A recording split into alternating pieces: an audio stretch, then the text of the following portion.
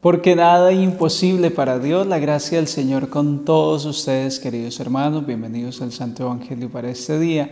Recibimos la palabra de Dios en el nombre del Padre y del Hijo y del Espíritu Santo. Amén. Oh Espíritu Santo, amor del Padre y del Hijo, inspírame siempre lo que debo pensar, lo que debo decir, cómo debo decirlo, lo que debo callar, cómo debo actuar lo que debo hacer para gloria de Dios, bien de las almas y mi propia santificación. Espíritu Santo, dame agudeza para entender, capacidad para retener, método y facultad para aprender, sutileza para interpretar, gracia y eficacia para hablar. Dame acierto al empezar, dirección al progresar y perfección al acabar. Amén.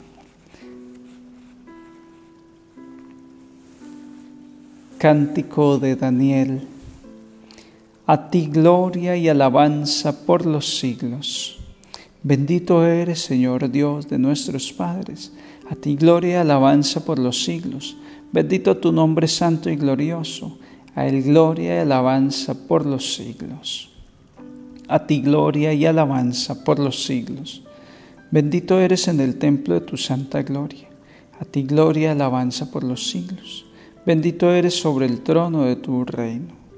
A ti gloria y alabanza por los siglos. Bendito eres tú que sentado sobre querubines sondeas los abismos. A ti gloria y alabanza por los siglos. Bendito eres en la bóveda del cielo. A ti gloria y alabanza por los siglos. Les comparto el Evangelio de San Juan en el capítulo 8 versículos 31 al 42. En aquel tiempo dijo Jesús a los judíos que habían creído en él, Si os mantenéis en mi palabra, seréis de verdad discípulos míos. Conoceréis la verdad y la verdad os hará libres. Le replicaron, somos linaje de Abraham y nunca hemos sido esclavos de nadie. ¿Cómo dices tú, seréis libres? Jesús les contestó, os aseguro que quien comete pecado es esclavo. El esclavo no se queda en la casa para siempre, el Hijo se queda para siempre.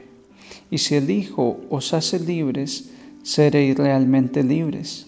Ya sé que soy linaje de Abraham, sin embargo, tratáis de matarme porque no dais cabida a mis palabras. Yo hablo de lo que he visto junto a mi Padre, pero vosotros hacéis lo que le habéis oído a vuestro Padre. Ellos replicaron, Nuestro Padre es Abraham. Jesús les dijo, Si fuerais hijos de Abraham, haríais lo que hizo Abraham. Sin embargo, tratáis de matarme a mí, que os he hablado de la verdad que le escuché a Dios. Y eso no lo hizo Abraham. Vosotros hacéis lo que hace vuestro Padre. Le replicaron, nosotros no somos hijos de prostituta, tenemos un solo Padre, Dios. Jesús les contestó, si Dios fuera vuestro Padre me amaríais, porque yo salí de Dios y aquí estoy, pues no he venido por mi cuenta, sino que Él me envió. Palabra del Señor Gloria a ti, Señor Jesús.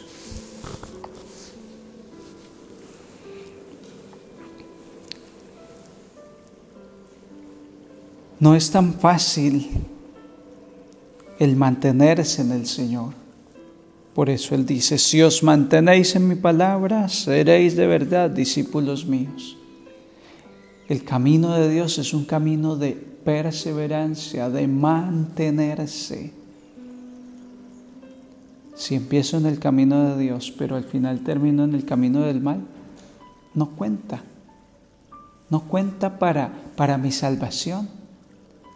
Si empiezo en el camino del mal y después me convierto, cuenta el nivel espiritual en el cual me encontraba a la hora de mi muerte.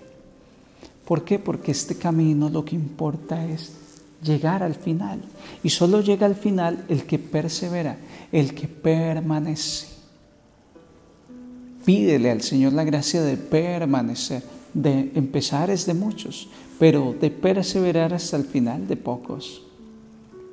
Pide en esta cuaresma esa gracia de llegar hasta la ancianidad o hasta que Dios te quiera tener con vida, llegar en la gracia, confesado, leyendo su palabra, con la fe de un auténtico hijo suyo, un auténtico hijo de Dios. Me ha llamado la atención en este día el Evangelio cuando le reclaman y, le, dicen los, los judíos, ¿cómo dices tú que seremos libres si nosotros somos libres? Nunca hemos sido esclavos. Eso es lo que usted cree.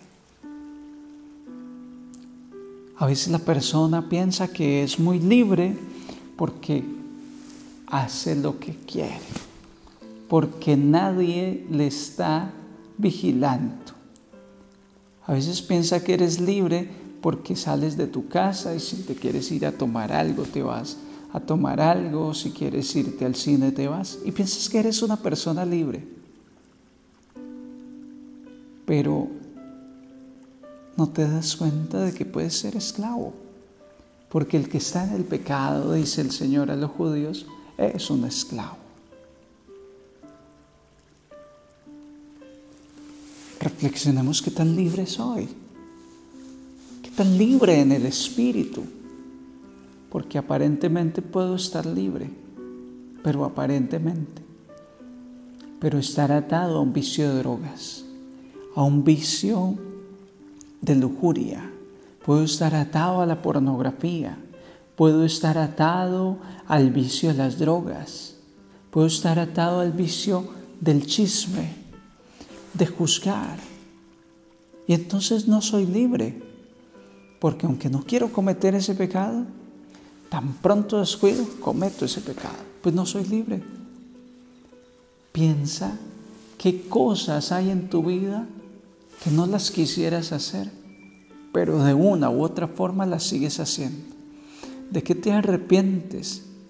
Y te gustaría que ya no estuviera en tu vida pues aún no eres libre. Si aún hay ese tipo de cosas de las cuales te arrepientes que estás haciendo, si hoy fuese el juicio final, ¿qué necesitarías cambiar? Ahora que piensas que necesitarías cambiar, ¿qué actitudes habría que dejar para estar en paz con Dios? ¿Está en tu completa decisión hacerlo. Y vas a ver que no es tan fácil, que aunque quieres estar en gracia, confesadito, siguiendo a Dios, no es tan fácil. Solo Jesús nos puede dar esa libertad.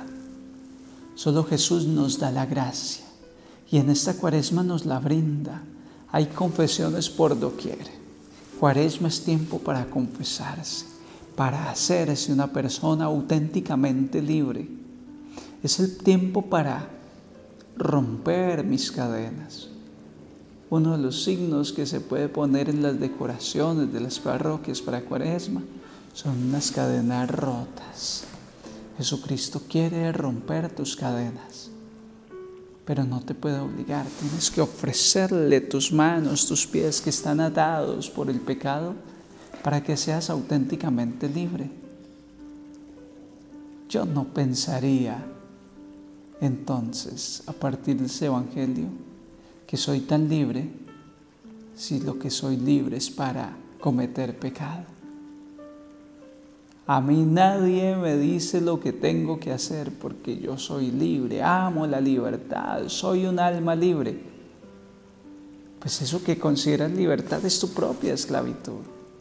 Eres esclavo de tus pasiones, de tu deseo, de tu temperamento, de, de tu cabeza dura, de tu arrogancia, pero no eres libre. San Maximiliano María Colbe es un sacerdote que cayó en los campos de concentración nazi. Y en una ocasión iban a fusilar a un hombre. Y ese hombre empieza a pedir que le perdonen la vida, que hay unos hijos y una esposa que lo esperan. Y de todos modos lo van a matar. San Maximiliano dice un momento, hagamos un canje, mátenme a mí, déjenlo vivir a él. Eso es un hombre libre. Estaba en un campo de concentración con rejas, con mallas, con cercas, pero era libre de dar su vida por ese hombre. Murió fusilado San Maximiliano María Colpe. Eso es ser libre, es no estar en el pecado, es poder hacer con mi vida que el Espíritu me dicta. Ahí soy libre. Mientras que hago el mal que no quiero y dejo de hacer el bien que deseo, aún no soy libre. Y he de pedir la gracia. Pues Jesús le dijo a San Pablo, mi gracia te basta. ¿Quieres ser libre? Te voy a dar mi gracia. No es con tu fuerza, no es con tus capacidades, es con mi gracia. Ve a buscar la gracia para que seas una persona auténticamente libre. La gracia del Señor esté con todos ustedes y les bendigo en el nombre del Padre, del Hijo y del Espíritu Santo.